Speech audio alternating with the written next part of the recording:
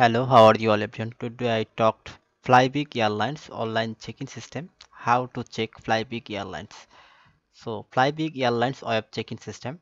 So this is my YouTube channel Engineer Sahajan. This channel only airlines video uploaded. So subscribe my channel and watch this video. At first Google Chrome browser open here, then type in Flybig web check-in. Web check-in, then enter. So first link flybig.in Flybig. So this is the flybig airlines website link. So click here this link. This is flybig airlines website. Very professional design this website. So at first check-in option showing. This is check-in page. Or another option scroll down page web check-in. Same page. Same page open. Same page open. Web check-in. Same page. So PNR PNR uh, booking reference PNR number typing here then last name typing here last name typing here then charts click here.